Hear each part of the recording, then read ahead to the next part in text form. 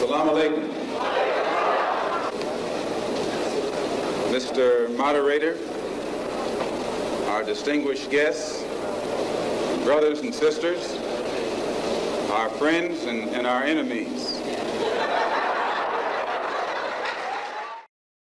Essentially, using media.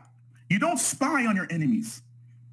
What you, you don't try to extract their ideas. What you try to do is you try to insert ideas onto the populace. How do you do that?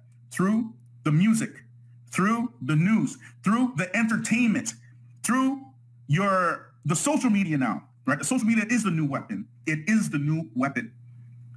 And when you're being bombarded of images of your own people involved in despotic behavior, what does what that does psychologically it, is it tells you that you should be involved in that behavior as well because everybody that looks like you is doing the same thing. Okay, that's the first point. The second point is, you know, I was having an argument with a white brother because he don't like me talking about this stuff.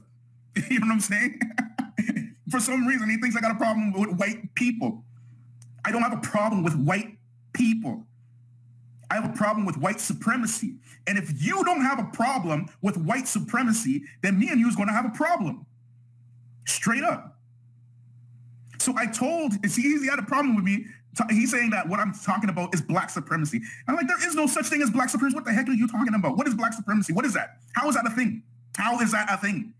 Black supremacy where? Where are these black supremacists? you know what I'm saying? What is that? black people are somewhere on the earth you know, uh, redlining another race somewhere, gentrifying other people's neighborhoods somewhere, you know, making laws and running banks, preventing other people from economic um, freedom somewhere. What is black? What is that? It's not a thing. It doesn't exist. Right? So anyways, he said we should be focusing on, on Shirk. You know what I told him? Because he doesn't know. Either he doesn't know or he doesn't want to know. And these people, like I said, they're not your friends when they start speaking like that. They're not your brothers, you're not your friends. Okay?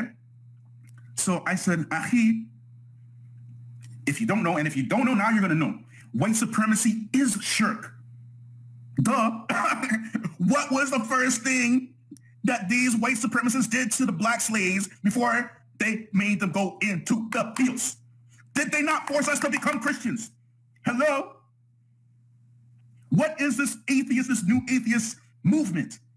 Where did it stem from? Did it not stem from Darwinism? Did not Darwin say that, did he write in his, his book, The Origin of Species and the, the survival of the preferred uh, races? Did he not write this? Did he not see black people as inferior? And he wrote and has not every single uh, uh, atheist accepted this theory, even drawing pictures. That is not only is it shirk, but it's the ultimate shirk. It's the like they force people to accept this. They force people by force. If you do not accept this, you do not accept science. That's shirk. We are fighting shirk. What are you talking about? You know what I'm saying? So why am I why am I saying this? It's because if you have been indoctrinated in this system, anthropology, a science grounded in shirk, oh, I mean, uh, in, in, racism, sorry, anthropology. Go read how it started. Go read how they used to kill uh, this, this Belgian, I can't remember his name, how they used to uh, kill thousands and thousands and thousands of black Africans, behead them, force the Africans to behead and collect their skulls and skin the flesh off the skull so they can measure these skulls. That was anthropology. Criminology, its origins is in racism. Uh, Cesare, I can't remember his last name, this Italian man. He's the one who founded criminology. What did he say? He said, criminals are born and you can know who they are by their, the way they look. Black people were not considered criminals until the chains came off of our wrists and our ankles. That's when they started criminalizing black people. Black people were not considered lazy until we attained freedom. That's when we were considered lazy. So now they tell you all the time how lazy you are because these foreigners come and they get all this, you know, wealth and whatnot, and not knowing that we are prevented from the same opportunities that they have by design, by design. So yes, white supremacy is shirk, but not only is it shirk, not only is it shirk, but it's, it is to keep you in a perpetual state of making shirk. Even if you're Muslim or not, you'll find yourself in these situations. I took a biology course like recently, a few months ago, right? And they were talking about evolution, right? And they asked such a loaded question, right? Basically trying to show that we came from some amoeba in the sea.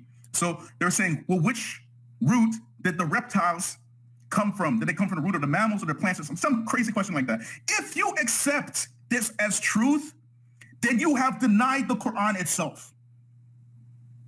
Shirk, shirk. But they put it as science and it's not science. It's not. They, because they wrote it in a book and you trust these people and you send your kids to those schools, that's why they get confused. It's indoctrination. This comes back to what I was saying about the Russians and subversion. That's how they get you. They use 20-year intervals because that's the amount of time it takes to indoctrinate somebody. All this LGBTQ, you know, this, this whole LGBTQ, that's rooted in eugenics. You know that, right? You know, this, this is the why it's being so put pushed so hard, particularly in black communities. Okay. Additionally, oh, y'all ain't ready for this. You're not ready for this. Additionally, okay, homosexual behavior is not unique to the West or white people. I will repeat, homosexual behavior is not unique to the West or white people. But the gay identity and the LGBTQ movement, which takes this behavior and turns it into a distinct identity which expressing opposition to it is treated comparable, if not worse than racism, is distinct to the West. And where it exists elsewhere is being imported. Told you you ain't ready. I told you you're not ready. In case you didn't get that, this LGBTQ movement, their agenda is specific the whole movement, this gay identity movement, is specific to the West and white people specifically, white supremacy. And this whole movement needs to be exported to darker countries for them to accept it. Otherwise, they will never accept it. They will never accept it. It has to be forced on them by force. Shirk. Shirk. Good morning. Today we choose to recognize, honor, love, and celebrate anyone here who would claim their identity publicly as lesbian, gay, bisexual, transgender, queer, or questioning, intersex, pansexual, asexual, or any category that I've left out. This is Phoenix.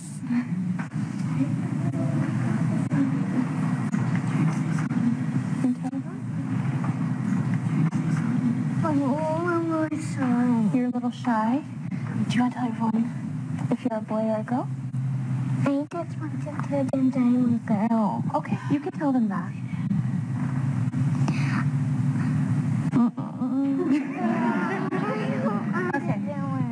Would like you to know that she's a girl and she prefers she and her pronouns.